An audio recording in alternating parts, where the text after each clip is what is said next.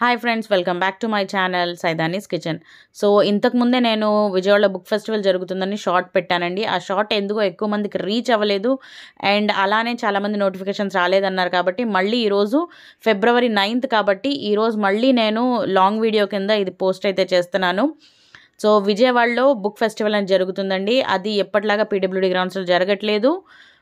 Vijayawada polytechnic college గ్రౌండ్స్లో అయితే ఇది జరుగుతుంది. ఈరోజు ఫిబ్రవరి నైన్త్ కాబట్టి ఈరోజు అయితే ఇనాగ్రేషన్ అనేది జరిగిపోయింది. సో ఇది వచ్చేసి థర్టీన్త్ ఆర్ సిక్స్టీన్త్ వరకు ఉంటుందని అయితే చెప్తున్నారండి. సో పుస్తక ప్రేమికులందరూ ఈ అవకాశాన్ని అయితే అస్సలు మిస్ చేసుకోకండి. అండ్ ఇక్కడ కళావేదిక అని ఒక వేదికనైతే ఏర్పాటు చేస్తారు కదా ఆ వేదిక స్టేజ్ పైన అనమాట ప్రతిరోజు మధ్యాహ్నం మూడింటి నుంచి తొమ్మిదింటి వరకు సాంస్కృతిక కార్యక్రమాలు పప్పెట్ షోస్ అండ్ అలానే చిన్న చిన్న గేమ్స్ డ్యాన్స్ ప్రోగ్రామ్స్ అనేవి కూడా జరగబోతున్నాయి. సో మనకు ఎంటర్టైన్మెంట్ ప్లస్ నాలెడ్జ్ రెండు ఒకే చోట దొరుకుతున్నాయి. అండ్ ముఖ్యంగా చదువుకునే పిల్లలైతే ఇలాంటి అవకాశం డెఫినెట్గా మిస్ చేసుకోకండి.